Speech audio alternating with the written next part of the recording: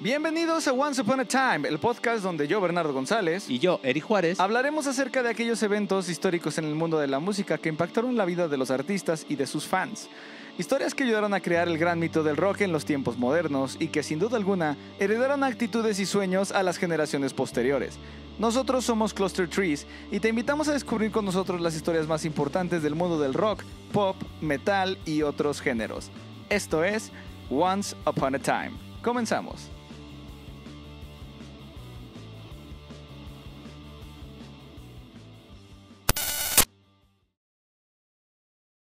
Arbolitos, sean bienvenidos a un nuevo episodio de este, su podcast, nuestro podcast Once Upon a Time. Y vaya que el episodio de hoy te va a dejar pensando. ¿Cómo estás, Bernie?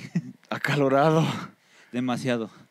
O sea, estoy viendo por la ventana y parece que va a haber sombra, pero nomás no. No, no parece que va a haber nada. Esto estamos mal, estamos mal. El planeta está muy caliente y no caliente chido. Sí, no, no, o sea, esto es caliente para mal. Pero ya saben, si escuchan un ruido de fondo es que el ventilador lo pusimos en una potencia buena porque Sí. en serio hace mucho calor. No, no vamos a aguantar si no tenemos ese ventilador puesto.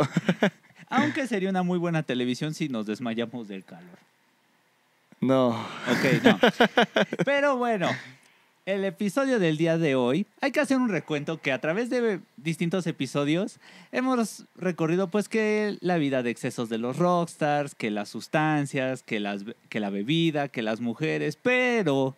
Pero si no te había quedado claro la advertencia con todos los demás episodios, con este, este te tiene que dejar mínimo pensando de creo que algo puedo hacer mal. Totalmente, ¿eh? Sí, porque definitivamente, fíjate, eh, a veces a la gente se le olvida que estamos nosotros tratando de desmitificar al rock, ¿no? ¿Sí? Con lo que hablamos del mito del rock, etcétera. Exacto. Digo, si es tu primer episodio escuchándonos, el mito del rock es prácticamente cualquier prejuicio que la gente saque relacionado a un rockstar, a un rockero, e incluso generalizándolo un poquito más como al músico, ¿no? Porque Exacto. hay ciertas creencias, ciertas costumbres, ciertos prejuicios que se mandan por el, que te dan por el simple hecho casi casi de tocar un instrumento, ¿no? Sí, exacto. Entonces, eh, es, es, es cool, es cool justamente. La historia del día de hoy es muy probable que no muchos conozcan a la banda, al artista. Yo personalmente, yo no lo conocía.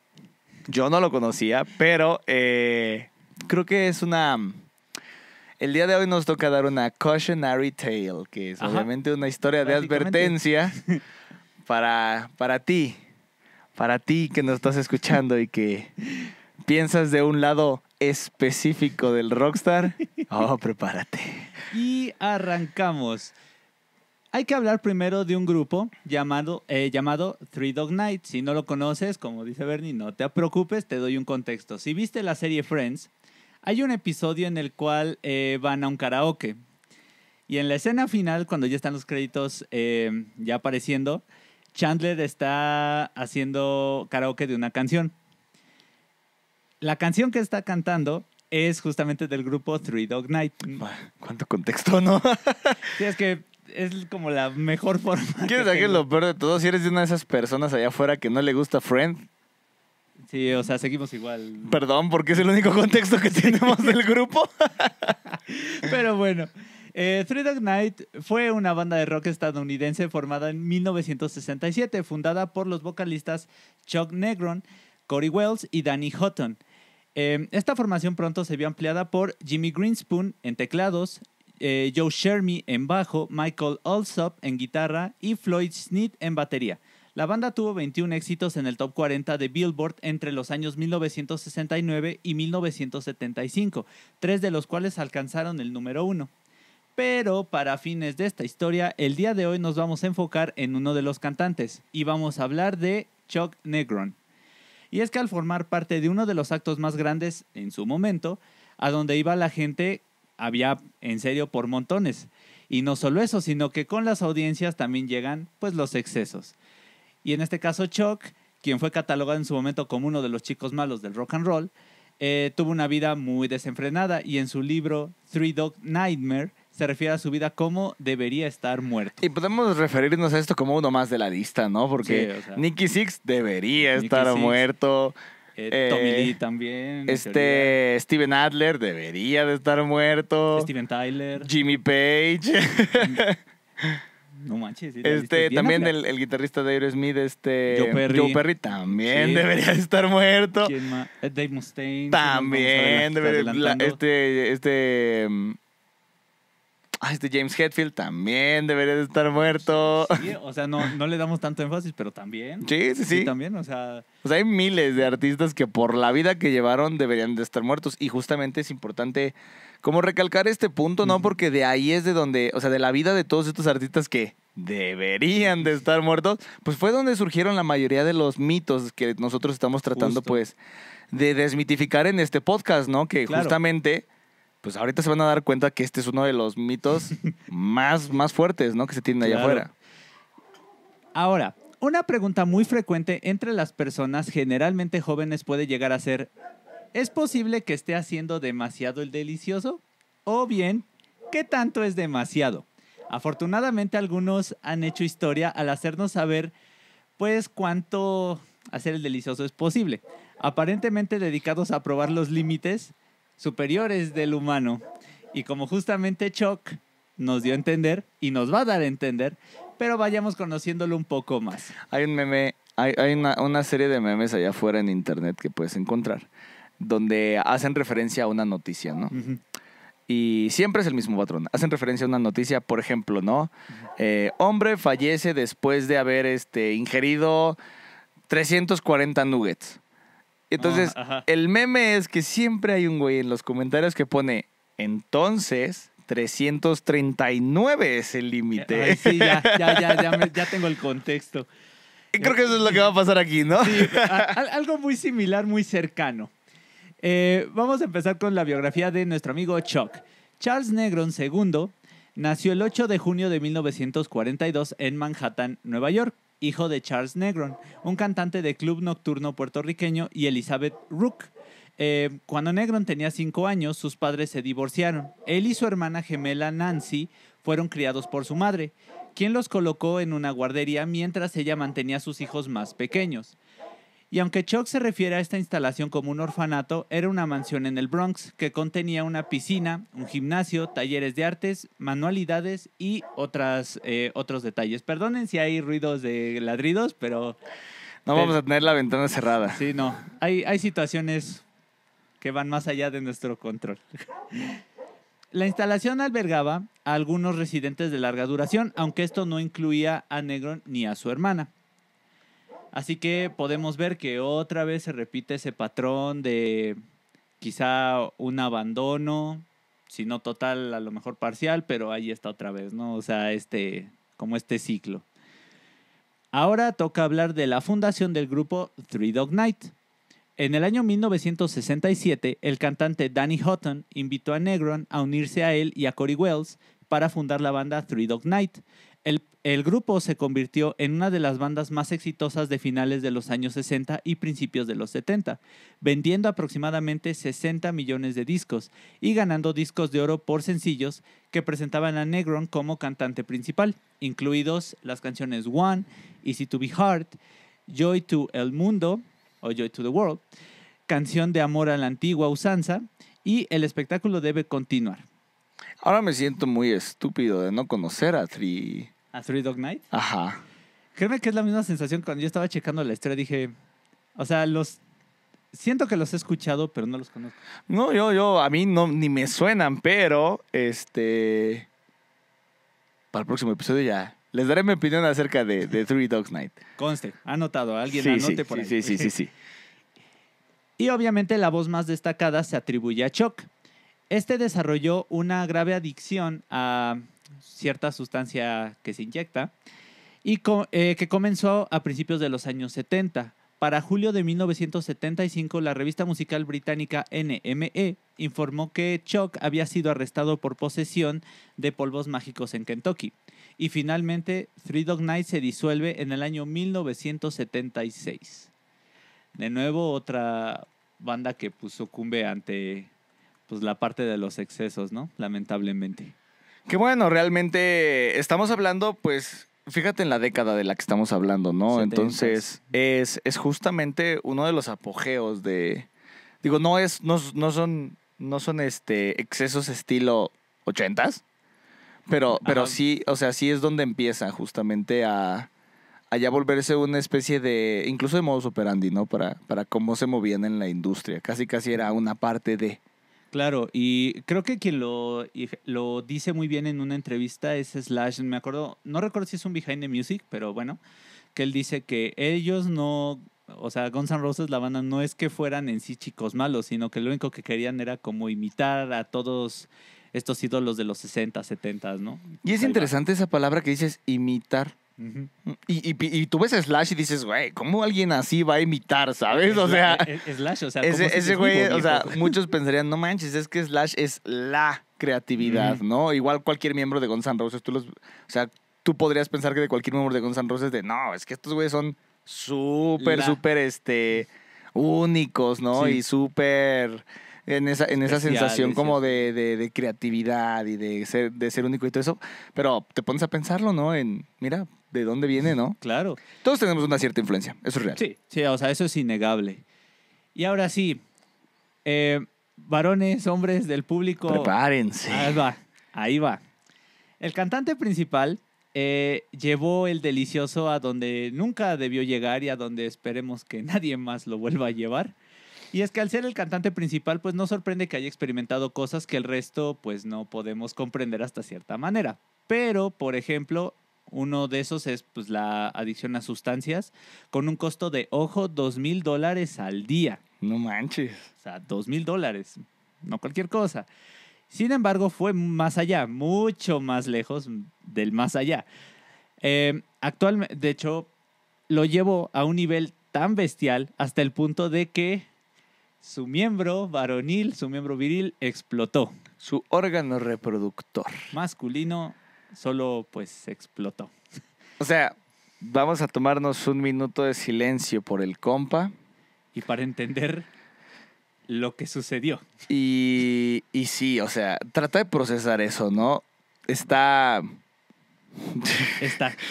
¿Qué, qué puedes decir al respecto, no? O sea, estamos empezando, estamos empezando, porque dice, y no, obviamente no estamos hablando en sentido figurado, o sea, esto literalmente ocurrió y él mismo lo describe, porque más que, digo, aquí explotar es como el, el, término populachero, más bien se desgarra, pero, lo cual no lo hace mejor, pero bueno. sí, o sea, no es la clase de noticias, comentarios que cualquier hombre quiere, quiere Escuchar, tener que sí, no. escuchar o explicar. O experimentar. Definitivamente. sí, ¿no? Y, y si bien Gene Simmons puede afirmar que se ha acostado con miles de mujeres, podemos decir que hay nuevas alturas que incluso él no pudo llegar. Y es que hubo una época en la que Chuck estaba teniendo relaciones eh, tan a menudo a principios de la década de los 70 y estuvo eh, teniéndolas en ese periodo de manera frenética, digámoslo, por poner una palabra, que en este momento en particular su miembro comenzó a inflamarse y a sangrar. Uf. O sea, ahí va. O sea, si no le pones atención a un sangrado en la zona especial, pues Ah. no. Ah, No. Ok, continuemos. Eh, Ah. Ch- Chuck presumiblemente experimentando un plano de realidad completamente nuevo con la ayuda de enormes cantidades de sustancias, eh, trabajó su órgano con muchas mujeres y con una ferocidad y un frenesí alimentado por las sustancias. Y obviamente un médico que le que pues, tuvo que asistir porque ya los dolores empezaron a ser como muy difíciles de ignorar. Dijo que había un eh, lo tenía como un bulto inflamado equivalente a unos calzones que estaban afortunados de seguir enteros. Y en un punto el mismo doctor le preguntó, ¿estás lavándote mucho o estás jugando demasiado contigo mismo? Esas preguntas que uno no quiere escuchar de, de un doctor. Ah. Ah. Y seguro que, quie- eh, que puede seguir usando esos boxers, pero los bordes ya están pues todos deshilachados, el material que lo mantiene unido ya está así al borde del desgarro. Y se compone principalmente de una esperanza de espero que no te que no te desgarres y pues simplemente una caída más en y sabes que estos boxers o estos calzones una lavada más y ya se acabó. Esta era la situación de, de nuestro amigo Chuck. Y este horror lo describe en su autobiografía, Three Dog Nightmare, cuya escritura aparentemente significa que conservó su cordura después de lo que debe ser el evento, el evento perdón, más traumático posible en este universo para cualquier varón. Claro. Sí, sí, sí. Sí. Sí, sí. Pero como cualquier adicto, cualquier hombre con, pues, con su miembro, Negron simplemente pues, no podía resistirse. Fuentes no oficiales dicen que Chuck estaba haciendo su momento con una concursante de Miss América cuando se desgarró su amigo, por decirlo de alguna manera. Según el relato de un blogger sobre su encuentro con eh, Negron, las palabras un hot dog en el microondas se utilizaron como descripción. Oh, Dios mío. Esto a su vez probablemente significa que la concursante de Miss América pudo haber tenido que ser internada en alguna institución porque Oh. evidentemente no hay forma de que un miembro viril abierto sea algo con lo que cualquier persona esté entrenado para lidiar. Oh, viejo. Oh, la, la imagen, viejo. la- Oh. Oh, no sé si voy a tener que poner este capítulo en explícito. Ah. Y, y conste que me estoy frenando porque la descripción a veces es en serio demasiado gráfica, pero vamos a seguir, vamos a seguir porque esto está, esto está bueno. Chuck narra el evento de la siguiente manera en su libro. Comenta lo siguiente. Los primeros años forniqué como un conejo. Fui tan indulgente y tenía tantas relaciones que mi miembro se empezó a inflamar más y más. Entonces pensé, algo está mal. Entonces fui con el médico y me ordenó tomar las cosas con calma y bajar mi ritmo de vida desenfrenado. Queda más que claro que las órdenes que le dio el doctor obviamente se ignoraron y se fueron por el excusado, pero en fin, pues el mito del rock se apoderó de, de Chuck una vez más. Y ya entrando directamente con el incidente, dice lo siguiente. Nos fuimos a un cuarto y comenzamos a hablar, esto hablando de la concursante Miss América. Y antes de darme cuenta estábamos haciendo el amor apasionadamente. La experiencia estaba siendo un poco dolorosa para mí, pero afortunadamente logré sobreponerme. Entonces, súbitamente lo escuché. Realmente escuché un sonido como de un desgarro. Primero pensé que había sido ella y que se rompió una prenda. E- ella estaba muy asustada. Traté de, de calmarla diciéndole, soy yo. Sé que eres tú, pero ¿qué fue eso? preguntó ella. Ella estaba muy asustada, entonces recuperando un poco la conciencia exclamé, se partió. Mi miembro había explotado y eso no era lo peor. El muchachón. El muchacho- El muchachón se venció. Sí, se dio Ah. literal. Y seguimos. Ah. Seguimos con su relato. Ah, esta historia es dolorosa. Hombres, créanme que los dos entendemos sus gestos. Ah. No es algo con lo que uno pueda lidiar todos los días. Y, y yo continúa diciendo, envolví mis, mi miembro en una toalla y corrí por ayuda. Se podrán imaginar que no es fácil mantener la dignidad al entrar a una sala de emergencias con tu miembro enrollado en una toalla. Doctores, enfermeras y pacientes me señalaban y se me quedaban viendo y se reían de mí. Es imposible describir la vergüenza que sentí en aquellos momentos. Ya en el hospital evaluaron la situación y tuvieron que coserlo. O sea, sí, literalmente un hot dog en el microondas. Puf. Puf. Por más que le doy vueltas a la situación, o sea, es, es imposible no, no tratar de visualizar la escena, ¿sabes? Puf.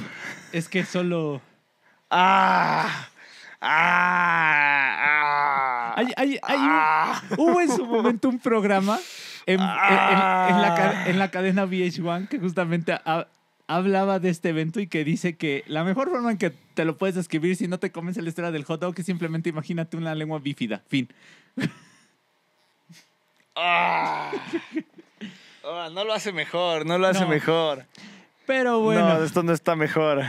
Eh, obviamente pasó este suceso, pasó lo que tenía que pasar. eh, eh, Three Dog Night se separa, lamentablemente, en el año 1976, como dije anteriormente. Y Chuck empieza, pues, un proceso, pues, de limpia, ¿no? Eh, Negrón tenía una voz, una gran voz. La banda era muy popular, pero parecía tener un deseo, pues, de autodestrucción, un deseo de muerte. y lo describe todo, revelando lo peor de sí mismo y su adicción a lo largo de años, hasta que finalmente pues tocó fondo. Yo espero que esto haya sido el fondo, porque no creo que puedas tocar más fondo que eso, pero bueno. Y en, eh, en su libro es muy honesto acerca pues, del tema de, de su adicción y finalmente de cómo logró eh, pues, dejar este hábito al final. Y como dijo con franqueza el cantante en una entrevista al medio eh, boomerocity.com, comenta lo siguiente. Sí, bueno, supongo que hay un plan más grande para mí. Se ríe, jaja. El libro se ha convertido en parte de un programa de muchos centros de rehabilitación a través de Estados Unidos. Terminé hablando, eh, y bueno, terminé hablando. Hace varios meses hablé en Kansas ante muchos jueces, funcionarios de libertad condicional y hombres encarcelados sobre las adicciones. Parece que estoy ayudando a mucha gente a comprender eh, estos sucesos. Parece ser un propósito mayor eh, para mí. Mira qué bonito, ¿no? Sí, o sea, dentro de todo eso, qué bueno que encontró la contra de cómo ayudar. Porque, eh, repito, con lo que abrimos el podcast, si Nicky Six no te lo dejó claro, si también en este caso Elvis Presley, Led Zeppelin todavía no te lo deja claro, aquí está. No, y, y sinceramente, o sea, qué buena onda, qué mala onda de la situación, totalmente, pero qué buena onda, eh, pues justo no, no hay, no hay, eh, ¿qué es? No hay mal que por bien no venga. Ah, hay ¿no? mal que por bien no venga. Sí, Y qué bueno que aprendió la lección y que Chuck sigue a los días con nosotros, la verdad. sí, sí, sí, sí, sí. Quiero que la gente sepa que este es el tipo de cosas que suceden. Si no estás ebrio y fuera de tu mente y no puedes sentir que lo que está sucediendo, lo, lo que le está sucediendo a tu miembro es realmente muy doloroso, ya sabes. Después de que haces que parezca que lo metiste en el microondas y se parte por la mitad. Oh, eso es una imagen que no necesitaba tener hoy, pero aquí estamos. Aquí estamos, va- vamos a, ya, ya llegamos casi al final. Entonces, ¿valió la pena? Pues habría que preguntarle a Chuck cuando lo veamos. Sí, sí, o sea, ay, ¿cómo, ¿cómo te acercas ¿no? a esta historia? Es simplemente las consecuencias, ¿no? De pensar que pues, no va a pasar nada, ¿no? O sea, Justo. O sea, creo, creo que ese es el lema. A mí no me va a pasar. la palabra correcta es hubris. Esa es la palabra, hubris. Hubris Muchas es gracias. justamente la, la, la- pues esta, esta sensación de no me va a pasar. Es un exceso de confianza. Claro, claro. Y digo, al final, eh, todavía faltan muchas más historias, por supuesto. Vamos a irlas revisando porque obviamente todavía faltan las historias pues, de Steven Tyler, de Joe Perry, de Mick Jagger, de Keith Richards, otros que... Keith Richards, sí, sí. Qué bueno. Espérense que el próximo mes viene una historia de Keith Richards. Bueno, viene. Y bueno, vamos a ir historia. Con la famosa sección de preguntas. Sí, sí, sí, vamos, vamos. Número Hace un uno. rato que no teníamos preguntas, ¿o sí? Ya tenía un ratito. También Eh, es bueno ya un descansar de ratito. Sí, sí, no, no, está perfecto. Yo lo siento fresco, Y, fresco. y esta historia lo, lo amerita. Ajá, La neta. ajá. Pregunta número uno. ¿En qué lugar de historias alocadas pones lo que le pasó a Chuck? O sea, la neta, la neta, por la consecuencia y por la forma, sí la pongo ahí arriba en el top 3, ¿eh? ¿Le- ¿Crees que le pueda arrebatar, le pudiese arrebatar el lugar o darle pelea a la de Nicky Six? Sí. Yo creo Sí, que digo, sí. porque al final, o sea, lo de Nicky Six, eso de que murió y este. Y regresó y eso.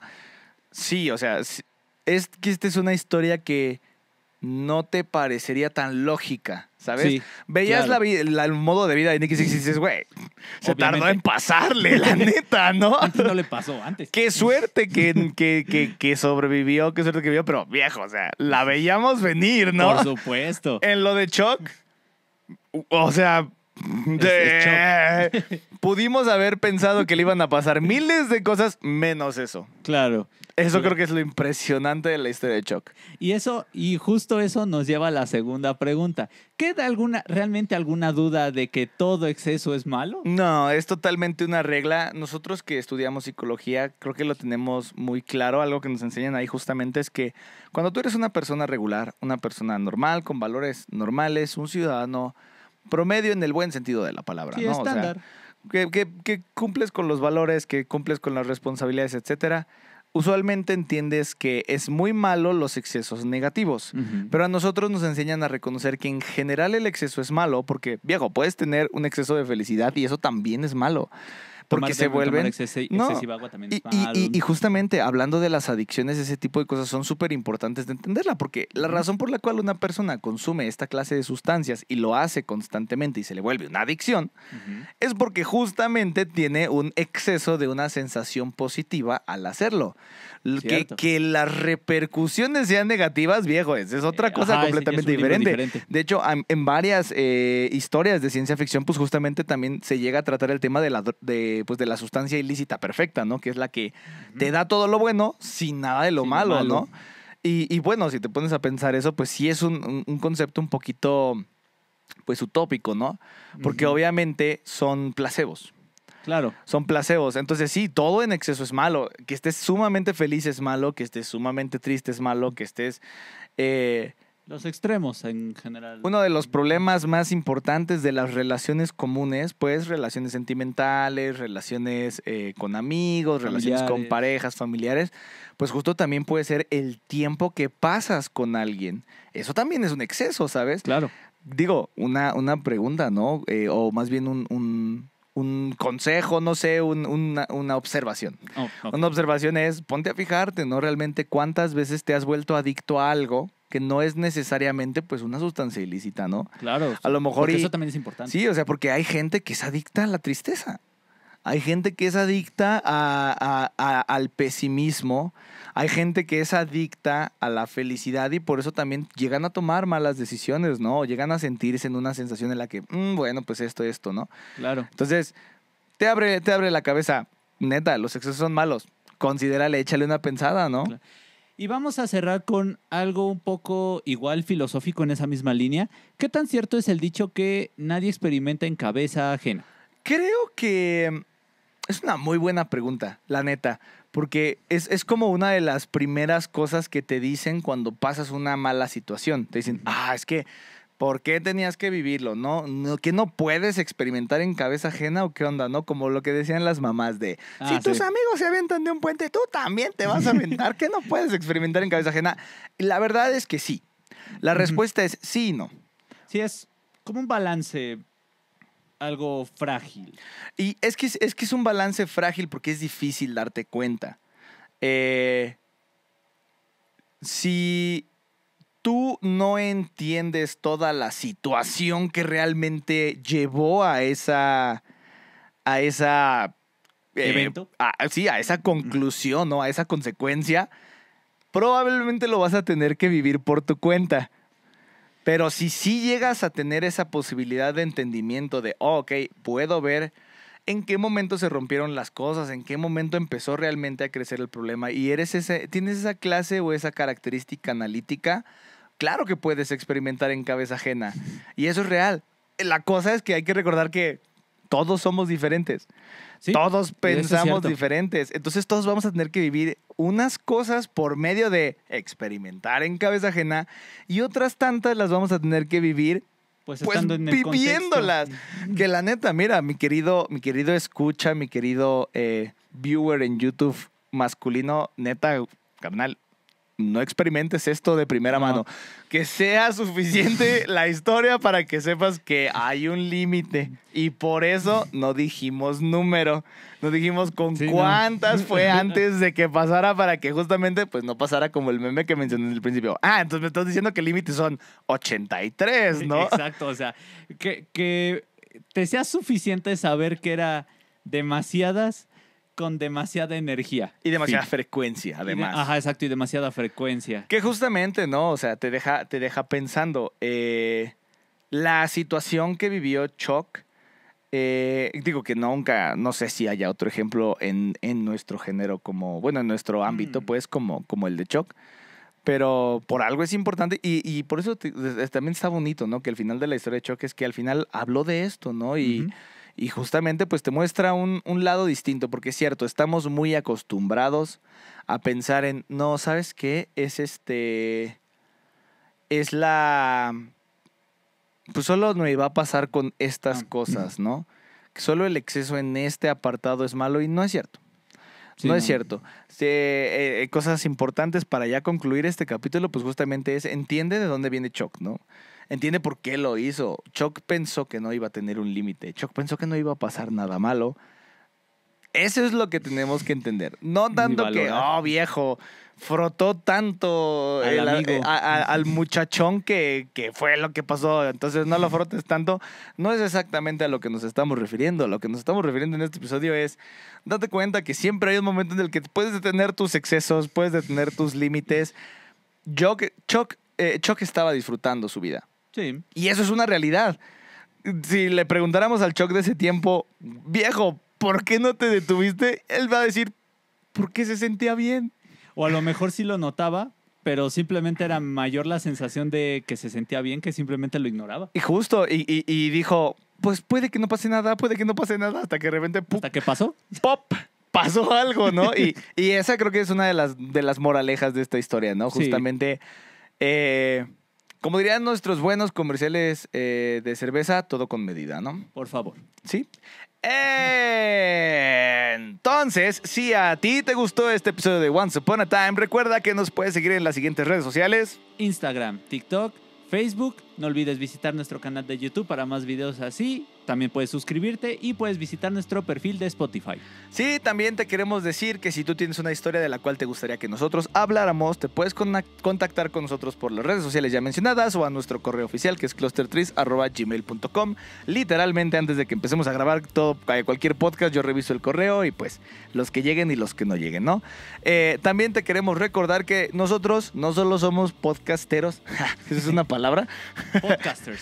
Podcasters. No, no solo hacemos un podcast, este podcast es una un proyecto aladito de nuestro proyecto A principal, que nosotros somos una banda de rock, tenemos música en Spotify, así que te invitamos a ir a escucharla. Eh, nuestra música pues justamente trata también muchos, muchos temas emocionales muy bonitos y pues es rock, ¿no? Es rock. Si te gusta el rock, si quieres conocer una banda nueva, te, te, te- te invitamos, ¿no? A escucharnos. Eres Vaya, bienvenido. ya vamos a empezar a, a estrenar música en los próximos meses, lo cual nos emociona muchísimo. Entonces, Sí. si estás por ahí, prepárate ah, para ser bombardeado por toda nuestra publicidad que vamos a hacer de nuestras nuevas canciones, ¿no? Listos. Y bueno, ya lo por último, quiero que recuerdes que yo soy Bernardo González. Y yo soy Eri Juárez. Y nosotros somos Cluster Trees y queremos recordarte antes de irnos, por favor, eh, Todo cuide. con medida. todo con medida y cuida tus excesos. Muchas gracias por ver el episodio. Bye bye. Bye.